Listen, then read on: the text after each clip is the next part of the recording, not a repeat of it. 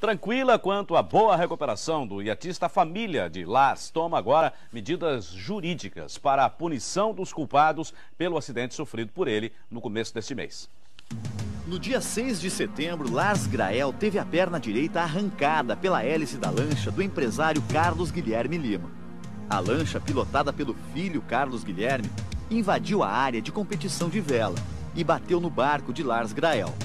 Desde o acidente, parentes do iatista tentam punir os culpados.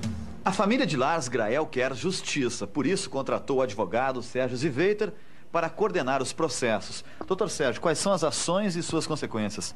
Nós vamos processar criminalmente o filho como condutor e o pai como proprietário da lancha por lesões corporais, cuja pena vai de 2 a 8 anos. E também o filho e o pai na área civil visando uma indenização por dano moral, material e estético ante a irresponsabilidade do ato que foi praticado.